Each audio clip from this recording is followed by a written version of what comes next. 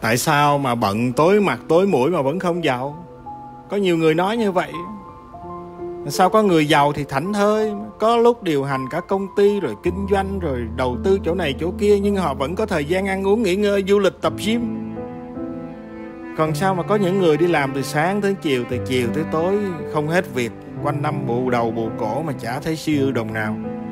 Ăn không đủ bữa, ngủ không đủ giấc, đi chơi cũng chả dám đi. Lạ thiệt á chứ thật ra thì cũng chả có gì lạ đâu. Bận rộn nó chẳng phải là cách để làm giàu. Nó cũng là không phải là thước đo của sự giàu có.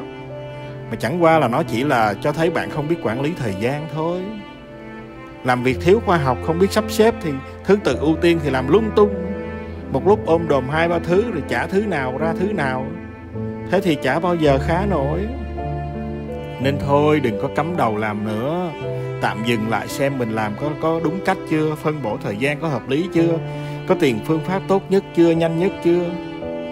Rồi suy nghĩ kỹ chưa rồi để bắt đầu vào làm. Đôi khi làm này, bả này, bả kia trắng bây giờ cuối cùng cũng được cái gì hết cuối cùng thấy là mình bận tối mặt tối mũi mà cuối cùng không ra cái gì. Có những người khác họ ung dung mà họ vẫn giàu có.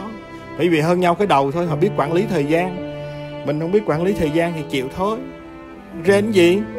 Người ta biết quản lý thời gian, người ta điều khiển cái công việc của người ta nó nhẹ nhàng. Quản lý công ty, người ta có giờ, người ta đi chơi nữa. Mình làm túi bụi luôn mà khổ là khổ. Ganh tị chi? Biết cách quản lý thời gian đi ha.